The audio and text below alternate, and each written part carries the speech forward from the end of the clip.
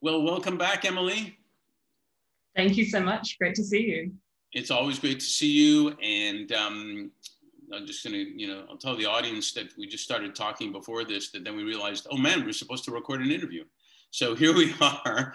And this is um, what we call a revisit, where we really like to ask you um, how you're doing, um, how was completion of the amazing 2020, and and how can we make 2021 be the year that we actually really remember and instead? So can you get us updated and, and tell us what's new and exciting uh, at exoworks? So actually i was really excited by the end of 2020 because we started to see this real change happen around september where companies started to say okay we know this is chaos. We're actually going to get together and do something. We're not just going to be in this oh, i don't know sort of phase anymore. And what happened then was they actually went from thinking about purpose as a sort of add on, it was generally something that was really reactive. And, you know, we're, we're working with a whole lot of the biggest um, polluters in the world. And for many years, it was window dressing that they might do something. That has completely changed. We've been working with these companies, and they are completely driven to doing things that are green and to um, actually embracing it. And so, even still, you know, a lot of these companies were thinking about it from a position of weakness, like, oh, we had better actually do something. And so, it's been really fun actually working with them to come at it from a position of strength and how can we actually really make a difference. I mean, we've been working with one large um, polluter and we realized that you know they're already making a big investment but with $6 million more they can actually take 12% of their entire emissions away um, and also save $300 million a year. So it's just a win-win-win for everyone. And um, I'm, I'm just so excited to see this become part of business as usual. Do you think, um, it may be an obvious question, do you think COVID just dramatically changed their perspective? Undoubtedly, yes.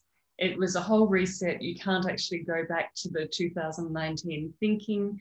Uh, we're seeing investors acting really differently.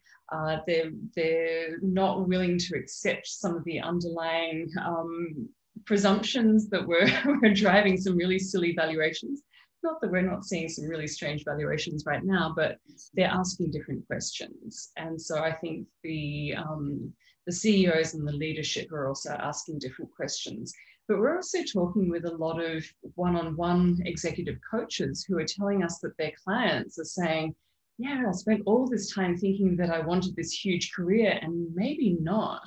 So I think that there's just, just across the entire world this sort of feeling of, wow, I actually want to have some legacy that's really purposeful and important. And that purpose driven stuff is either taking people off into a different track or coming back into the business where they say, I'm only going to stick around if I can feel like I'm doing something really important. Yeah, I've seen I've seen that too where I mean the obvious ones have been well Bezos is a perfect example. I've seen it where the CEO becomes the chairman because they don't want to do, if you will, the business anymore. They just want to do the vision and all that. Right. So that makes that totally aligns, you know, with that. What about the the people that aren't Bezos that are in a VP role that want to do something like that? What, how, how do, do you see a difference? There's got to be some kind of difference in, in what they can do, what they want to do. So we have been working with a number of companies where their HR team has said, oh, you're going to be working with some people who are really old style thinkers and it's going to be really tough to get them coming along. We have seen completely the opposite of that.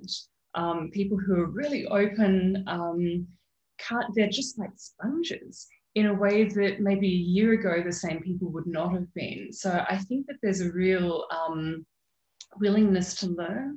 There's a willingness to say, hey, I don't know everything.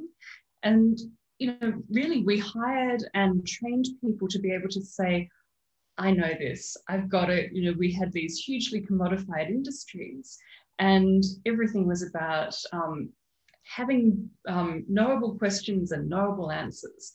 And everyone is acknowledging that that is just not the world anymore. Everything is uncertainty. We need to be hiring and um, supporting people around how do we navigate things where we don't even know what the question is. And the answers are going to be hugely complex and, and changing all the time. And people are really, you know, starting to be willing to learn about how to do that well. Yeah, that's so interesting because the two aspects to that. I've, I've had lots of conversations on about the word vulnerability and I had one leader tell me, man, it's, it's, I've never had an easier time being a leader now that I'm vulnerable to, and I don't need to know everything.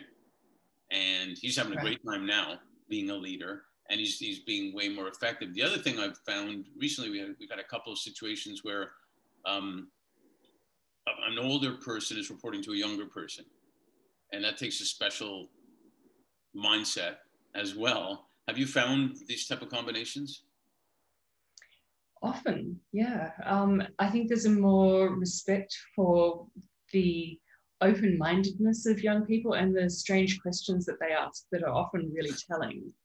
So um, we're seeing that sort of reverse mentoring as well as just being in a um, different power dynamic. Um, there's an openness. You know, for for many people, that's still going to be really difficult. Um, but but I think that there's a real benefit when that can actually happen. What about different industries? Um, are you finding the same conversation in different industries, or how does it change? Um, we are. I mean, we're talking to so many different companies in different industries at the moment about whether they want to do a sprint and um, and really do innovation. And I think we're, we're seeing almost every industry um, thinking, right, we've got to actually really change. However, the, the industries that are coming to us most at the moment are the resources industries because they're just going through such disruption. Uh, so the, the companies that are saying, right, we've been through all the cutting that we can possibly do. Now we have to work out how to grow and um, and stem the bleeding even further. And we're not going to be able to do that with the usual old style thinking. We actually have to move to something that's really different. And so we can help them with that. Now, I should have done this at the beginning, but for people that haven't seen you before, can you give them a quick definition of what a sprint is? Great. So we looked at the fastest growing companies in the world and what was shared in common between them. And we're using 10 week sprints where we actually coach people within the companies to become more like those fastest growing companies in the world. And so, you know, they get incredibly inspired. They go from feeling like trying to change, they just don't know where to start, to actually feeling really empowered and knowing exactly how to go about coming up with great new ideas that will be at least tenfold better and then going and properly validating those. I, I've, I've always loved it and uh, I want to be able to do more, uh, more with you guys. And uh, and it's always super delightful to to speak with you. So thanks for the revisit, and um, we'll speak again soon. Thank you so much.